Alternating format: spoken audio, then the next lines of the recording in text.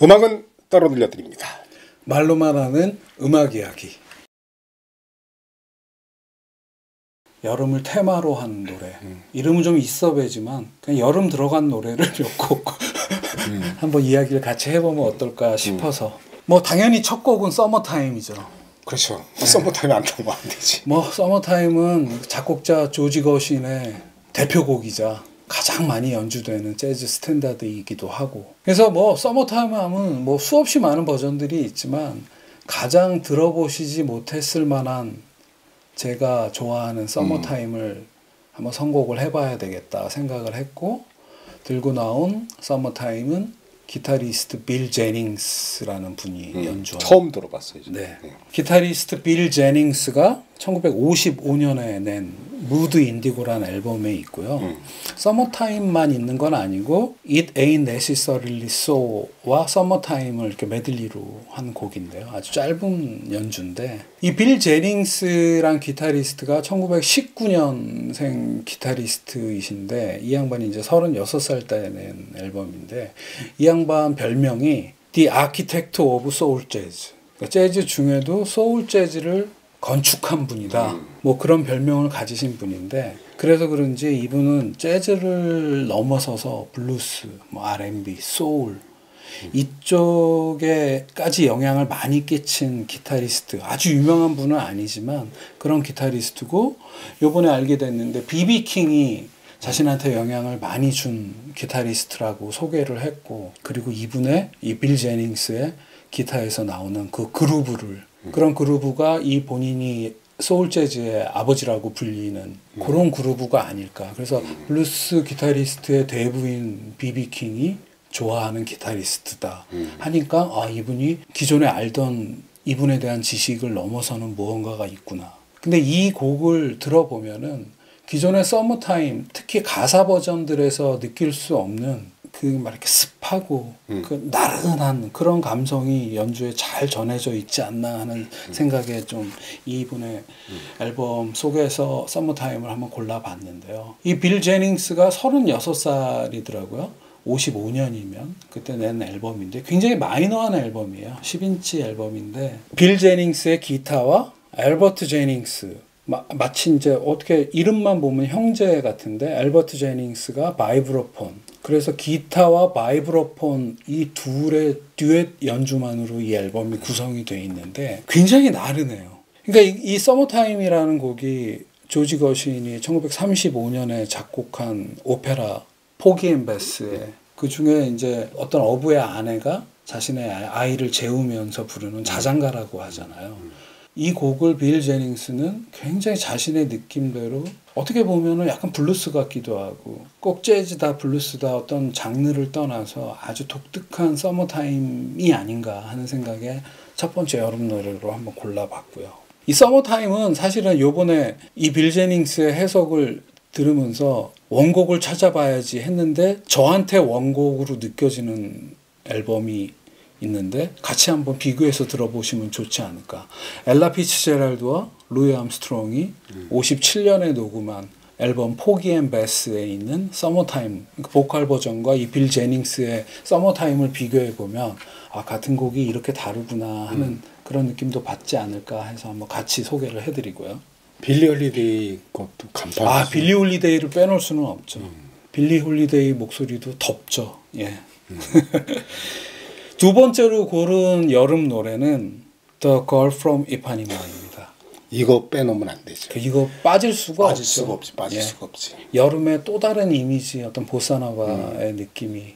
그냥 이, 예. 아니 그냥 이렇게 해변에 수영복 입고 가는 젊은 아가씨. 그렇죠. 그거를 의자에 앉아서 바라보는 안토니오 까를로스 조빔. 예. 그래서 안토니오 까를로스 조빔 이 곡의 원곡자가 연주한 버전으로 골라봤는데요. 음. 안토니오 까를로스 조빔 and Friends라는 앨범이고요. 1993년에 공연에서 녹음을 한 거를 음. 96년에 나온 앨범인데 맨 마지막 그 앨범의 맨 마지막 곡으로 The Girl From Ipanema가 있는데 피날레 The Girl From Ipanema라는 음. 타이틀로 나온 곡이고요. 음. Girl From Ipanema 하면 스탄 게츠와 주앙 지우베르투가 함께한 음. 게츠 지우베르트 앨범 63년 녹음 앨범이 생, 당연히 생각이 나잖아요. 그 앨범과 비교해서 한번 들어보시면 좋을 것 같은데 오늘 고른 버전은 그 앨범에도 참여했던 안토니오 까를로스 조빔 즉 음. 작곡자가 93년 9월에 브라질의 상파울로에서 있었던 재즈 페스티벌이 있었대요. 그 재즈 페스티벌 이름이 Free Jazz Festival이던데 거기서 안토니오 까를로스 조빔이 여러 뮤지션들과 함께 join해서 여러 곡들을 연주하는데 맨 마지막 곡으로 피날레로 이 곡을 연주했다고 하는데 함께한 뮤지션들이 대단해요. 안토니오 까를로스 조빔이 피아노를 치시면서 보컬도 돕고 있고요. 보컬에 가우 코스타 브라질 여가수죠. 그리고 존 핸드릭스 스캣 혹은 보칼리스의 아버지라고 불리는 존 핸드릭스 그 당시 이제 72세로 나이 드셨을 때인데 쿠바 피아니스트 곤잘로 루발카바가 피아노를 같이 연주를 해주고요. 허비 행콕이 게스트로 나와서 키보드를 연주해주고 색소폰 솔로는 조 핸더슨이 해주고요. 베이스는 론 카터가 치고 있고. 그러니까 이 안토니오 까를로스 조빔이 그 재즈 뮤- 페스티벌에 참여를 하는데 이렇게 스케줄 되는 친구들을 모아서 각자 여러 곡을 연주하다가 이 곡은 피날레니까 다 같이 나와서 연주하자 이런. 그러니까 그런 분위기가 라이브만 줄 수 있는 그런 Girl From Ipanema의 또 다른 감성이 살아 있지 않나. 제가 되게 좋아하는 부분은 가우 코스타 이 여성 보컬리스트가 원곡이라고 할 수 있는 Girl From Ipanema의 아스트루드 질베르토하고는 또 다른 브라질 가수 여가수의 목소리와 존 핸드릭스라는 원로 미국의 보컬 그리고 이들이 스캣을 써서 악기와 함께 같이 이렇게 이렇게 흥얼거리듯 노래하는 그런 어떤 여유로움이 잘 살아있는 여름 노래가 아닌가 하는 생각을 해서 두 번째로 골라봤고요. 세 번째와 네 번째 선곡한 여름 노래는 그 노장 피아니스트 두 분의 연주로 골라봤는데요. 세 번째로 고른 여름 노래는 오스카 피터슨. 오스카 피터슨이 1998년도에 낸 앨범인데요. The Very Tall Band Live at the Blue Note라는 앨범이고요. 그 중에 오스카 피터슨의 When Summer Comes라는 곡을 골라봤는데 98년이면은 오스카 피터슨 선생이 73세가 되신 때고 오랜 세월 같이 트리오 연주를 해왔던 베이시스트 레이 브라운 오스카 피터슨보다 두 살 선배인 모던 재즈 쿼텟의 vibraphonist 밀트 잭슨 이렇게 세 분이 같이 조인트로 공연을 뉴욕의 블루노트에서 하신 모양인데 이 곡 When Summer Comes에서는 레이 브라운하고 밀트 잭슨 선생 두 분은 잠깐 쉬시고 오스카 피터슨이 피아노 솔로로 독주를 하는데요. 오스카 피터슨의 작곡이더라고요. 요 당시 이제 73세 98년도에 오스카 피터슨이 5년 전으로 돌아가면은 뇌졸중이 와갖고 음. 잠깐 한 2년간 연주를 쉬고 그 다음부터 이제 연주를 재개한 지 1, 2년이 됐을 때인데 뇌졸중 이후로 가장 훌륭한 연주라고 평론가가 이 소개에서 써놨더라고요. 근데 이제 그런 거 저런 거 다 생각하지 않고 When Summer Comes라는 노래를 이렇게 연주를 이렇게 들으면서 생각한 건데 아 산전수전 다 겪은 피아니스트가 자신의 공연에서 잠시 주어진 독주에 이 곡을 했구나 음. 생각을 해보니까 이제 When Summer Comes 여름이 오면 무슨 얘기일까 가사가 없는 노래니까 이렇게 생각을 해보면 사랑 노래 같아요. 이, 이 연주의 톤이나 이런 걸 생각해 봤을 때. 근데 역시 뜨거운 여름의 사랑이 아니라 옛, 옛날 그 젊은 시절의 사랑을 이렇게 음. 반추하는 듯한 음. 그러한 고즈넉하고 되게 담담한 그런 톤의 연주여서 올 여름에 겪게 될 더위나 이런 걸 생각했을 때 굉장히 어울리지 않나 하는 생각을 해보게 되고요. 음. 굉장히 편안한 연주여서 한번 들어보셨으면 하는 바람이고요. 네 번째로 고른 또 다른 노장 피아니스트는 데이브 브루백입니다.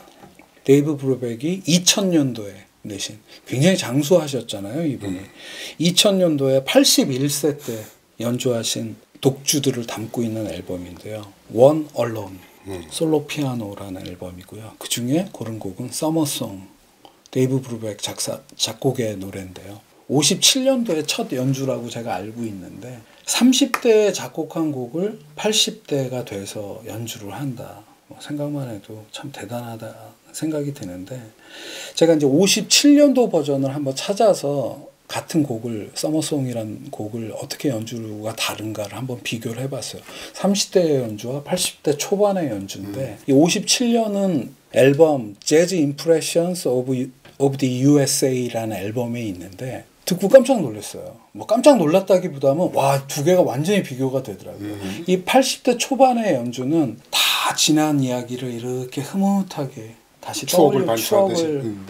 떠올리면서 하는 연주라면은 57년도에 한 서머 송즈는 조금 시끄러울 정도의 되게 힘 있는 음. 건반을 누르는 타건이나 이런 것들이 전해져 오는 느낌이 그래서 여름 하면 젊음의 계절 같은데 이 노장들의 여름은 이런 매력이 있구나 이런 생각을 혼자 하면서 좀 듣게 됐달까 마지막 다섯 번째로 고른 여름 노래는 스탄게츠인데요 스탄게츠가 1975년에 녹음해서 82년에 나온 앨범인데 The Master라는 앨범이 있고요. 그 중에 Summer Night 1935년도에 작곡된 스탠다드 라기에는 많이 연주는 안 된 곡이라고 알고 있는데 Summer Night이라는 곡을 이 앨범의 첫 번째 곡으로 연주를 했더라고요. 쿼텐 연주인데 스탄게츠가 테너 색스폰을 연주하고 알버트 데일리란 피아니스트 그리고 클린트 휴스턴이란 베이시스트 그리고 빌리 하트라는 드러머 스탄게츠가 함께하는 이 나머지 후배들은 한 띠동갑에서 스무 살 정도 나이가 차이 지는 후배들이에요. 70년대 초반에는 스탄게츠가 어울리지 않게 약간 재즈 퓨전 쪽으로 치코리아와 뭐 이런 토니 윌리엄스 뭐 이런 분들이랑 약간 재즈 퓨전을 연주하다가 다시 어쿠스틱 연주로 돌아왔을 당시의 연주래요. 40대 후반이긴 하지만 아직은 힘을 간직한 그러한 좀 씩씩한 연주랄까? Summer Night. 굉장히 좋은 연주라는 생각이 들었고요. 되게 젊은 스탄게츠의 어떤 느낌이 잘 살아있고 그래서 Summer Night이라는 곡을 이번에 검색을 하다 보니까 제가 갖고 있는 앨범인데 들어보지 못한 연주가 있어서 한 곡을 같이 Summer Night이라는 곡을 소개를 해드리려고 하는데 마일스 데이비스 연주가 있더라고요. 음. 마일스 데이비스가 1963년에 연주한 그 quintet 연주가 앨범이 있어요. 맨 마지막에 이 Summer Night이라는 곡을 quintet 그 당시 이제 마일스 데이비스의 두 번째 quintet이 결성되기 바로 전에 과도기에 있던 두 번째 quintet이 결성되기 직전의 멤버들로 연주를 하는데 스탄 게츠의 테너 색소폰과 마일스 데이비스의 뮤트 트럼펫으로 연주되는 이 Summer Night을 개인적으로 이번에 비교를 해봤는데 아주 멋지더군요. 같은 곡을 여러 버전으로 듣는 재미가 스스로 한번 이번에 또 확인을 해봤는데 이렇게 이제 다섯 곡의 여름을 테마로 한 노래들 소개. 아 좋았어요. 보통 여름 노래 그러면 우리 그냥 일반적으로 떠, 떠오르는 것들 있잖아요. 뭐, 맨 처음 했던 썸머타임. 저는 뭐 저 그 치코리아 스페인 같은 거 이런 거 들으면 오히려 여름 같은 거 이렇게 상상하고. 음. 수 근데. 이제 선곡이 좀 독특해요 이번 김 감독 선곡이. 근데 여름에 들을 만한 재즈 음악은 아마 몇번 해야 될 것 같아. 저도 좀 소개해드릴 게 몇 개 있습니다. 자, 여름 노래 다섯 곡 소개 여기서 마치겠습니다. 네. 감사합니다.